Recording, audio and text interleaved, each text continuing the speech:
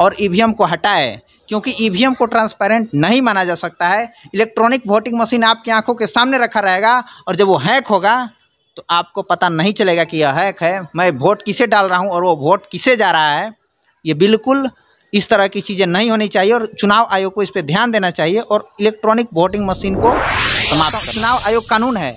क्या है चुनाव आयोग? चुनाव आयोग कुछ नहीं है। चुनाव आयोग सत्ता पक्ष पार्टी के समर्थन के वजह से ऐसा कर रही है। अन्यथा, चुनाव आयोग अगर सच में ईमानदारी से काम करती तो उसे इस देश से ईवीएम को यह इलेक्ट्रॉनिक गैजेट नहीं है, यह सिंपल एक डब्बा है। और यहाँ पे आप देख सकते हैं मेरे पास एक इलेक्ट्रॉनिक गैजेट मोबाइल फ़ोन है। सपोज़ दैट कुछ पल के लिए हम मान लेते हैं एग्ज़ाम्पल के तौर पर कि यह एक इलेक्ट्रॉनिक सामान है और यह ईवीएम है और यह बैलेट पेपर है। यह बैलेट पेपर है, इसमें कोई इलेक्ट्रिक वस्तु नहीं लगा है। अगर इसे कोई हैक करना चाहे, इसके साथ छेड़खानी करना चाहे तो नहीं कर सकता। अगर करेगा भी तो पकड़ा जाए। देश के अच्छे पर्सन हैं। बताइए कि मंदिर से विकास होगा कि स्कूल से विकास होगा? मंदिर से विकास होगा, क्योंकि बहुत सारे लोग बीमार हो जाते हैं तो मंदिरों में पूजा पाठ करते हैं तो उनका मतलब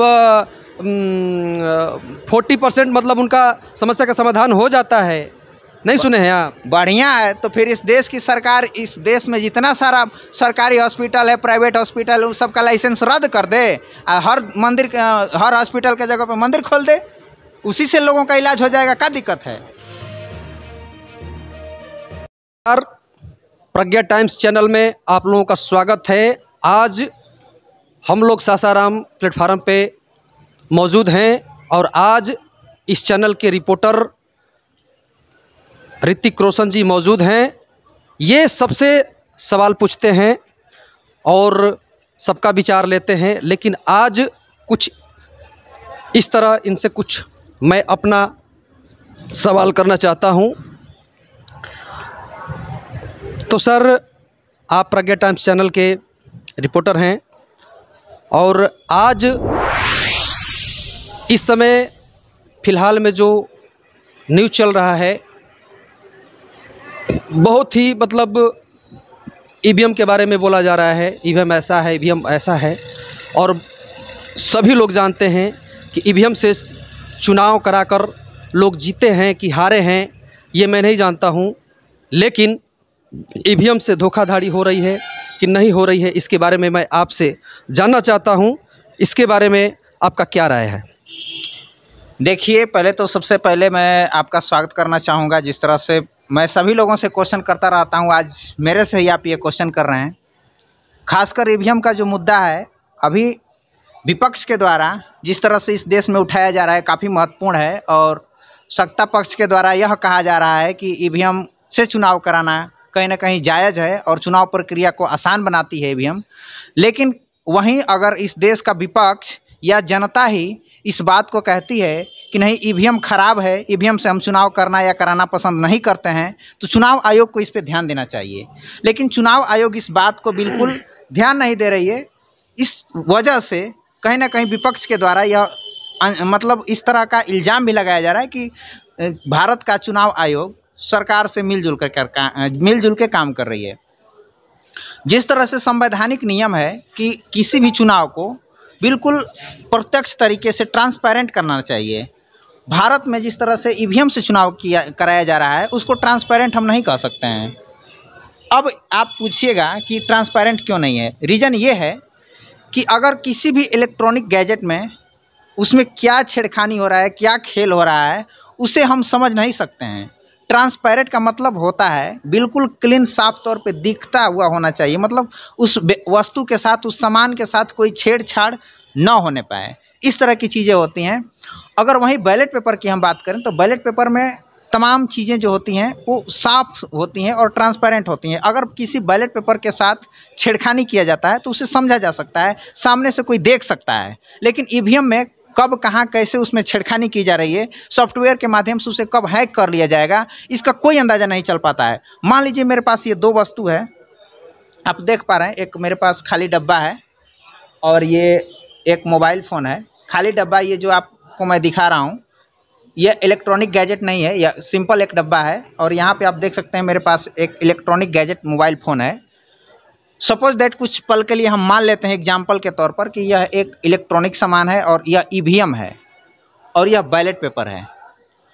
यह बैलेट पेपर है, इसमें कोई इलेक्ट्रिक वस्तु नहीं लगा है। अगर इसे कोई हैक करना चाहे, इसके साथ छेड़खानी करना चाहे तो नहीं कर सकता। अगर करेगा भी तो पकड़ा जाएगा।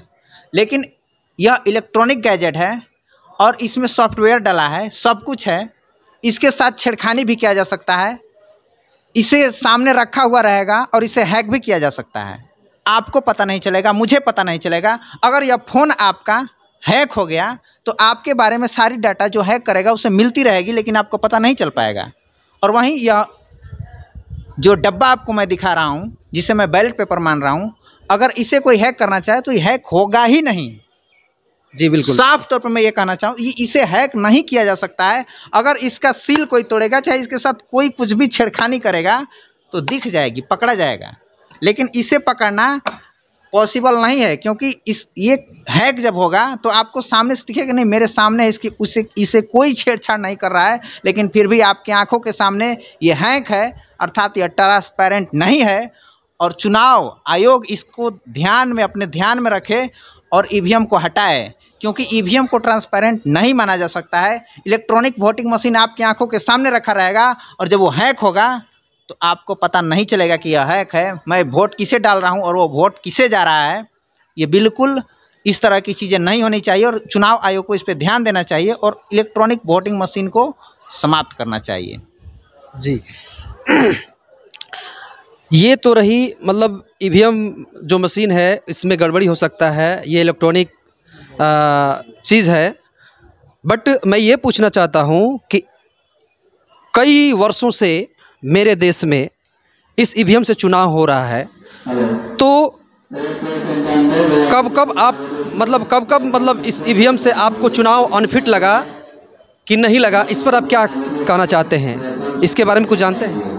देखिए, चुनाव अनफिट होना और नहीं होना, ये अलग की बातें हैं। विपक्ष के द्वारा जिस तरह से इस तरह का आरोप लगाया जाता है, अभी आपको मैं डेटा बता रहा हूँ। ऑन रिकॉर्ड यह डेटा है, इस देश से 80 लाख ईवीएम गायब हैं। ईवीएम, जो चुनाव आयोग ईवीएम का रख रखाव करती है, उस ईवीएम को, इसको बिल्कुल ध्यान में रखना चाहिए कि 80 लाख जिस देश का ईवीएम गायब हो, आपको लग सकता है कि उस देश में बिल्कुल निष्पक्ष तरीके से चुनाव हो रहा है। अस्सी लाख जो ईवीएम गायब हुआ, वो ईवीएम कहाँ है? ये जाँच करने का विषय है। अभी सरकार, सत्ताधारी जो पार्टी है, वो इस चीज़ का कहीं नहीं जाँच कराती है कि अस्सी लाख ईवीएम गया कहाँ। इस चुनाव आयोग के पास जो अस्सी लाख ईवीएम चोरी हुआ, वो सारा ईवीएम है कहाँ? अगर कहीं ना कहीं वो ईवीएम होगा तो कहीं ना कहीं उसका दुरुपयोग ही किया जाता होगा। आपको ऑन रिकॉर्ड में डाटा बताना चाहूँगा। जापान, चाइना, अमेरिका, ये तमाम ऐसे देश हैं जहाँ ईवीएम से चुनाव नहीं कराया जाता है। कारण क्या है? कारण ये है कि इस ईवीएम को ट्रांसपेरेंट नहीं माना जाता है। इस वजह से कई सारे ऐसे देश हुए इंग्लैंड और इंडोनेशिया, इन तमाम देशों में ईवीएम लागू करने के बाद भी पुनः से ईवीएम को बैन कर दिया गया। इंग्लैंड जैसा देश जहाँ ईवीएम बनता है, जिस देश से ईवीएम बन करके भारत में आता है, उस देश में अब ईवीएम से चुनाव नहीं कराया जा रहा है।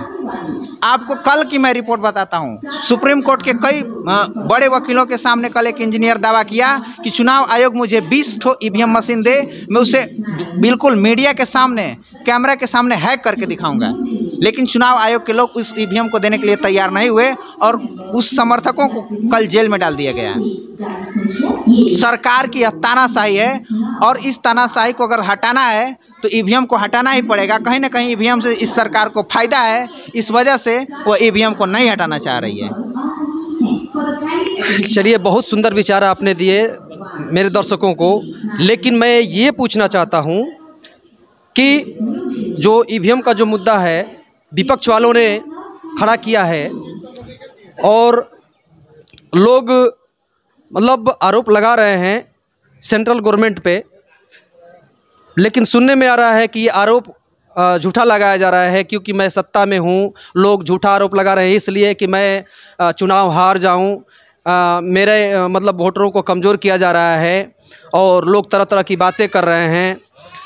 इस पर आप क्या कहना चाहते हैं? साफ़ तौर पे आपको मैं बताना चाहूँगा, जिस चीज़ से आपको फ़ायदा होगा, उस चीज़ को आप हाथ से जाने दीजिएगा। मान लीजिए कि मोबाइल फ़ोन है, इस मोबाइल से आपको बहुत फ़ायदा है। और हमें कहीं ना कहीं इस मोबाइल से दिक्कत है तो मैं कहूँगा कि इस मोबाइल को आप हटा दीजिए हटा दीजिए तो आप हटाइएगा। नहीं हटाइएगा। बस वही चीज़ है, सत्ता में जो अभी पार्टी है, उससे बिल्कुल ईवीएम से फ़ायदा है। इस वजह से ईवीएम नहीं हटाना चाह रही है। है या चुनाव आयोग कानून है? क्या है चुनाव आयोग? चुनाव आयोग कुछ नहीं है। चुनाव आयोग सत्ता पक्ष पार्टी के समर्थन के वजह से ऐसा कर रही है। अन्यथा चुनाव आयोग अगर सच में ईमानदारी से काम करती तो उसे इस देश से ईवीएम को हटाना ही पड़ता। बीजेपी ईमानदारी से चुनाव लड़ती है और ईमानदारी से मोदी जी प्रधानमंत्री बने हैं। ईमानदारी से बने हैं कि नहीं बने हैं?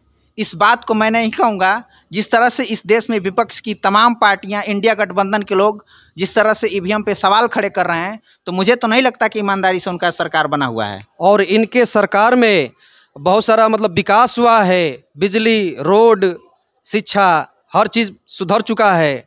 और इसी तरह से पाँच साल रहा तो विकासशील से विकसित देश बन जाएगा अमेरिका जैसा बन जाएगा। मैंने आपको ऐसा लग रहा है कि शिक्षा शिक्षा व्यवस्था का सुधार हुआ है। क्या आपको नहीं लग रहा है? शिक्षा व्यवस्था का सुधार नहीं हुआ है, इस बात को मैं नहीं मानूँगा। क्योंकि जिस देश में, इधर करिएगा कैमरा, सर। जिस देश में शिक्षा पर ही टैक्स लागू हो, उस देश में शिक्षा व्यवस्था का क्या सुधार हो सकता है? अमेरिका जैसा देश, जो अपने पूंजी का कम से कम ट्वेंटी फ़ीसदी पैसा खर्च मात्र शिक्षा पे करता है, फ्री एजुकेशन पे बात करता है उस देश का आप साथ मैंने एथी कराइएगा इस वर्तमान सरकार से। यह सरकार शिक्षा पर टैक्स लगा कर रखी है तमाम शिक्षा को महँगी करती जा रही है। आप आ जाइए ना जी एक बुक खरीदने सौ रुपये का बुक जो कि कंपनी उसे पचास या साठ रुपये में बना, बनाती है उसे सौ रुपये में बेचना पड़ रहा है क्योंकि उस पर भी जीएसटी लागू है उस पर भी टैक्स लागू है। कहाँ से इस देश के लोग शिक्षित शिक्षित हो पाएँगे? यहाँ मंदिर की बात की जाती है यहाँ स्कूल और यूनिवर्सिटी की बात क्यों नहीं की जाती है?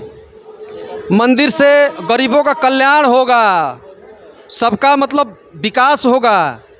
क्या बात करते हैं? मंदिर से विकास होगा। जी बिल्कुल। स्कूल से विकास होगा। आप आप एक इस देश के अच्छे पर्सन हैं। बताइए कि मंदिर से विकास होगा कि स्कूल से विकास होगा? मंदिर से विकास होगा क्योंकि बहुत सारे लोग बीमार हो जाते हैं तो मंदिरों में पूजा पाठ करते हैं तो उनका मतलब फोर्टी परसेंट मतलब उनका समस्या का समाधान हो जाता है।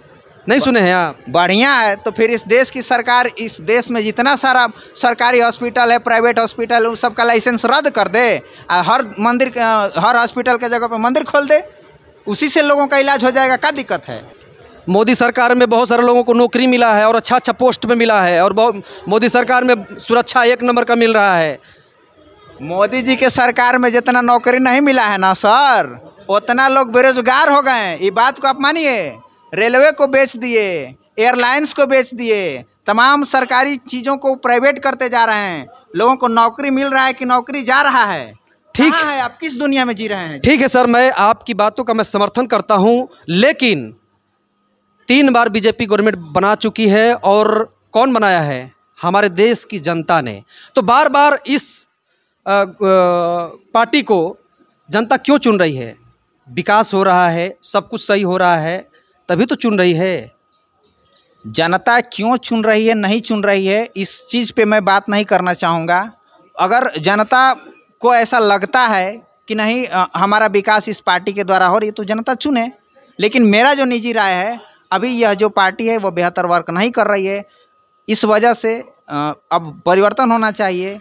दस साल लोगों ने भाजपा का सरकार देखा, अब इस सरकार को बदलनी चाहिए और नए चेहरा को देखना चाहिए, जो कोई भी आए। ठीक है बहुत बहुत धन्यवाद और हमारे प्रज्ञा टाइम्स चैनल के रिपोर्टर ऋतिक रोशन जी बहुत अच्छा विचार दिए हैं और इसी तरह से आप लोग आशीर्वाद बनाए रखें। बहुत बहुत धन्यवाद। इस वीडियो को लाइक करें, कमेंट करें और ज़्यादा से ज़्यादा शेयर करें। धन्यवाद। नमस्कार। मैं प्रज्ञा टाइम्स चैनल से ऋतिक रोशन। आप सभी से निवेदन करना चाहता हूँ कि यदि आप बहुजन पत्रकारिता में प्रज्ञा टाइम्स चैनल को मदद करना चाहते हैं तो आप हमें मदद कर सकते हैं। हमारा फ़ोन पे गूगल पे नंबर है nine nine three four two four zero three zero three.